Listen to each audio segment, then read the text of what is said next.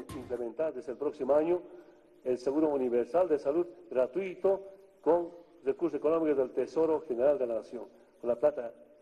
fiscal, fiscal y no con la plata de los trabajadores. Tras una reunión llevada a cabo en la Casa Grande del Pueblo entre el presidente Evo Morales con la Coordinadora Nacional por el Cambio, el primer mandatario anunció que para el 2019 se garantizará el seguro universal gratuito de salud con los recursos del Tesoro General de la Nación, con el objetivo de que toda la población boliviana se beneficie con el acceso gratuito a la atención médica. El tema de inversión en tema de salud, pero quiero resumir de manera muy concreta.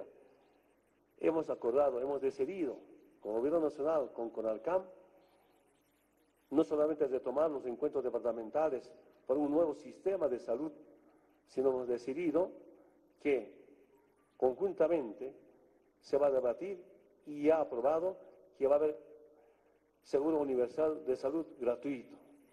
Tras la reunión se acordó además una movilización nacional para el próximo 10 de octubre en conmemoración a los 36 años de la recuperación de la democracia, recordando la posesión de Hernán Siles Suazo. Sin embargo, el proceso se empezó a gestar cuatro años antes con las primeras elecciones después de casi dos décadas. En 1964, el golpe militar de René Barrientos a Víctor Paz Censoro dio inicio a los 18 años de dictaduras militares, durante los cuales Bolivia vivió 14 gobiernos de facto. Convocamos a la movilización del 10 de octubre en todas las ciudades capitales en homenaje a los compañeros obreros, campesinos, indígenas, dirigentes universitarios e intelectuales de la izquierda y sectores progresistas caídos y torturados en la lucha contra la dictadura que fueron impuestas para frenar el avance liberador de los pueblos en América Latina imponer las bases del neoliberalismo. Al asumir la presidencia, la frágil democracia boliviana se encontraba frente a una muy difícil situación social, económica y política.